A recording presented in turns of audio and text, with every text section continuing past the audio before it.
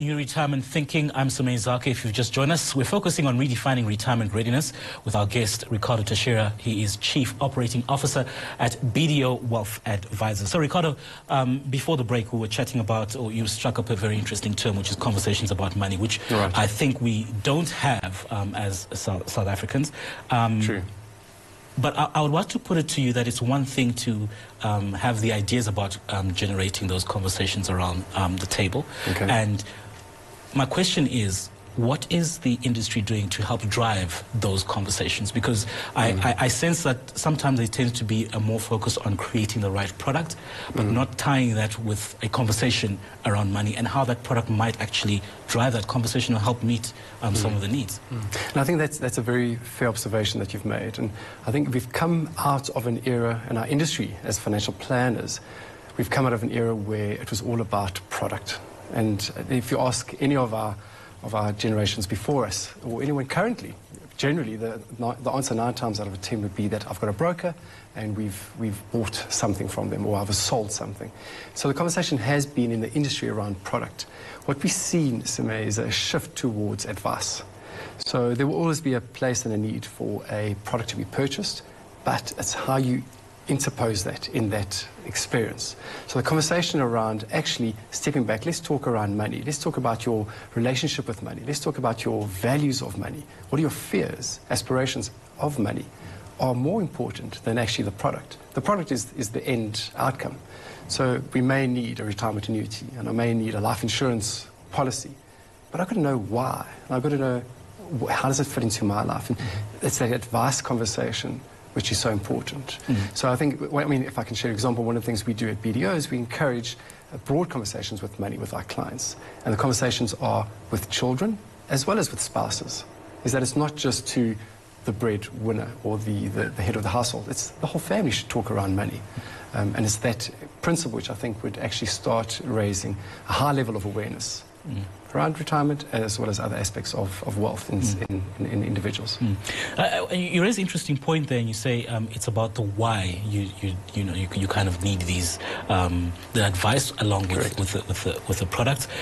But also I think if, uh, you know, one would argue that, um, you know, retirement 65 or 70 as we were discussing earlier on, one, people don't tend to see that far ahead. Mm. Um, mm. And it, it, speaks to the intangibility of um, mm. retirement planning and, and retirement itself. Mm, mm. That's right, yeah. And I think that's, that's it's a very re, it's, it's, a, it's a very real experience is that if you speak to anyone, that the concept of retirement is, is far off into the distance. It's very often, it's intangible, as you've said. I can't touch and feel it, but I, I can look at that new car and I could look at the new house or whatever, or, or, the holiday. But that concept of actually not working or being in a different phase of my life is so foreign. And I think it goes back to what we were talking about earlier, is that the, the concept of retirement, right at the starting point, is artificial. Right now, the fact that we are living in an era of experience where we, we're selling intellectual capability, we, we're selling our knowledge, we're selling relationships, that doesn't really expire, know. Mm. So no longer am I selling a hard, hard, my ability to work in the, in the labour force. So I think that, that, um, that, that, concept of being intangible has come out through conversations. I mean, and if I look at it as an example, often we, we see clients talking, spending more time talking with their spouses around their holidays right. than their retirement. And yet the one is just a need and a spend as opposed to how are we going to live? What are we going to do? What does our retirement look like? So the concept of why is, is critical and it's actually visualizing what does my life look like and then putting numbers to it.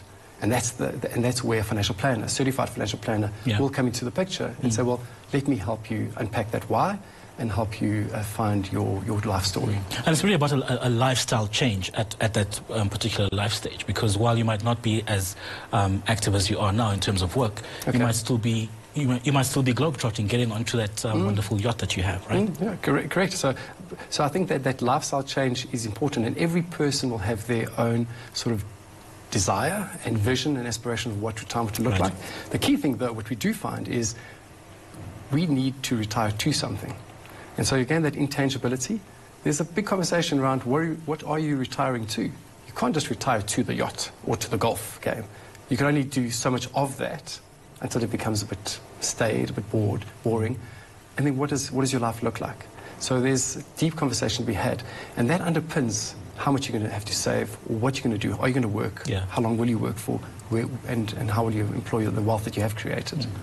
Let's talk about some of the um, changes that we've seen in the in the retirement um, space. Okay. One of them that you didn't mention off air was the change in the um, tax allowance that happened last year, um, 2016. Can you just Correct. elaborate on, on on on some of the implications of that? Okay, that was actually um, quite a, fundamental shift in, in South African tax law for, relative to financial planning and saving for retirement. And the change really was an increase in the tax deductibility or the allowance that we have as South Africans towards making contributions towards our retirement saving. And we went from an environment which was kept at a, at a lower level of about 15% with some, uh, uh, some sort of um, formula that were attached to it to a very, a very easy to use formula of 27.5% of taxable income into any retirement vehicle.